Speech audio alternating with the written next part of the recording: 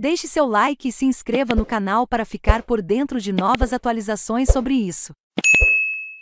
Suspeitos usavam telefones de órgãos públicos para aplicar golpe. A Polícia Civil do Distrito Federal deflagrou a Operação Emera com o intuito de prender um grupo de suspeitos de aplicar o golpe do Pix na manhã desta sexta-feira, 13. As investigações apontaram que eles usaram mais de 154 linhas de telefone para cometer os crimes, até mesmo de órgãos públicos.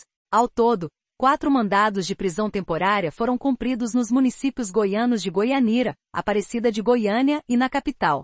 As investigações começaram em janeiro, depois que um idoso de 60 anos foi enganado pelos estelionatários. Um dos investigados entrou em contato com a vítima pelo WhatsApp e fingiu ser o filho do idoso. Com a identidade falsa, ele afirmou que estava em dificuldade financeira e pediu ao homem que fizesse três transferências bancárias para ele via Pix. Enganado, o idoso chegou a repassar 14,9 mil reais ao criminoso em três contas diferentes. Duas delas estavam atreladas a uma mulher e a terceira a um homem. Segundo os investigadores, ele foi induzido pelo irmão a entrar no esquema. Os fraudadores chegavam a receber de 5% a 10% do valor da transferência ao emprestar as contas bancárias para a prática do crime. O restante do valor era remetido a outro suspeito, que vivia em Goianira, a polícia identificou que, para enganar as vítimas, o grupo usou, em apenas um mês, 154 chips de operadoras e estados diferentes.